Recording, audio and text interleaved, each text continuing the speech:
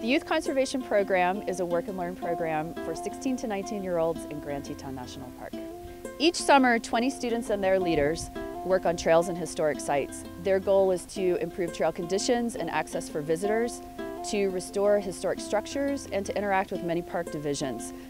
By being exposed to groups such as the firefighters and the search and rescue teams and invasive species crew, these students have a chance to see just what it takes to run one of America's top 10 most visited national parks. For YCP's 10-week season, these students have a chance to develop a skill set that will serve them well throughout life. Not only are they learning skills that are specific to the jobs they're doing today, they also learn how to function as a team, they're developing leadership skills, and one of the things we're most proud of, they have a chance to begin shaping their own conservation ethic. My name is Elizabeth Kucherlakis. I am a trail crew leader for the Youth Conservation Program. Well, I went for a run on Bradley and Taggart Lake when I was 18 years old and I saw some trail crew people and I said it looked like a lot of fun. How do I get this job? And they gave me directions to the trail shop and it's kind of history from there. So this is my eighth season working for the National Park Service. Uh, my name is Logan Klein. I am a wage grade 5 trail crew member and YCP leader. So the idea is to get people interested in conservation work and then you know keeping the trails in good shape so that people can enjoy them. One of my favorite things about the YCP is the camaraderie. I love my crew, I really do.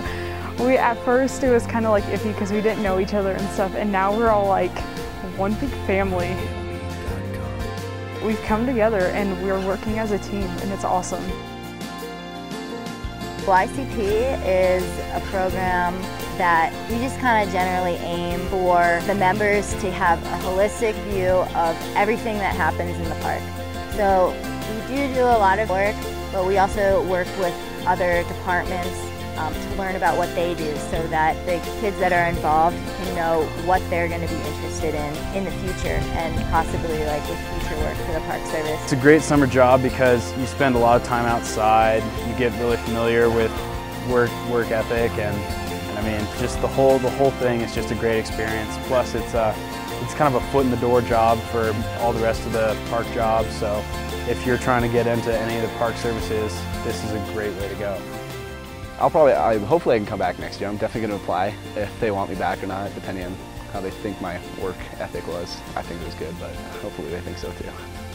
To date, YCP has logged more than 60,000 hours of work in Grand Teton National Park. The foundation funds this program because it's a win-win situation for everyone.